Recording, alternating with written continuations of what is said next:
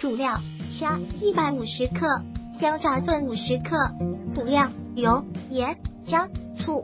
准备时间十到二十分钟，制作时间十分钟内。准备的食材：香炸粉，买回的虾洗净后去炒，把虾和蒜、醋、姜浸泡二十分钟，加入香炸粉，拌均匀。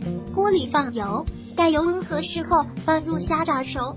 漂亮的油炸虾来了。烹饪技巧：我用的油是家里自榨的油，所以泡沫比较多。如果喜欢本视频，请分享并订阅本频道。